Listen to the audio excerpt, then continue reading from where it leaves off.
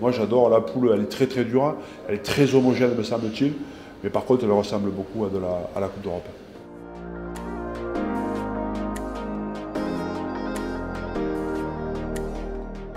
Il y a ce goût d'inachevé.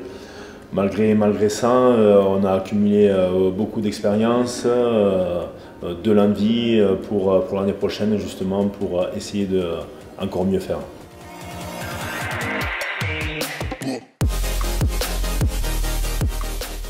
Bah, c'est de pouvoir se confronter aux meilleures équipes européennes, de voir un petit peu ce qui se fait ailleurs et de pouvoir voir où on en est par rapport à ces, équipes-là. Donc, euh, donc, voilà, c'est sûr que c'est ce qui aussi se rapproche peut-être le plus du, très haut niveau. Donc euh, sur beaucoup de points, c'est une compétition importante et, excitante à jouer.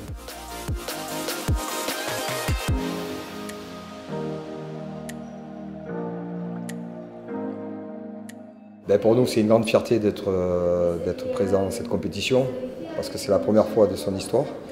Voilà, ce club il, évolue beaucoup, on travaille énormément euh, avec tout l'ensemble du club, euh, les actionnaires, mon staff, les joueurs.